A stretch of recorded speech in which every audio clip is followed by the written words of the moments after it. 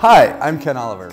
I've got a really easy DIY home decor project that you're gonna love. We're gonna use my favorite 12 by 12 craft papers, put them in frames and throw them on the wall. It's gonna be really cool.